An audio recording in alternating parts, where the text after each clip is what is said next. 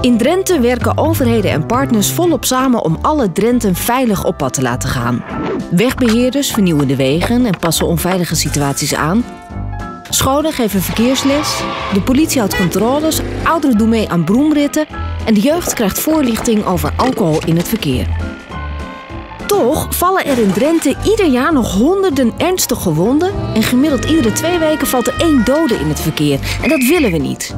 En dat laten we weten aan alle Drenten. Niet alleen ter informatie en als waarschuwing, maar ook omdat we alle Drenten nodig hebben om onze wegen veiliger te maken. Het Verkeers- en Vervoersberaad Drenthe zet verschillende media in om aandacht te genereren voor verkeersveiligheid. RTV Drenthe is een grote informatiebron en belangrijk contactpunt voor veel Drenten. Jong of oud, RTV Drenthe wordt druk bekeken, beluisterd en bezocht door de Drentse gemeenschap. Verkeersveiligheid is een actueel onderwerp, zowel journalistiek als commercieel. RTV Drenthe denkt multimediaal mee om iedereen in Drenthe te bereiken. Niet alleen over effectieve reclamecampagnes.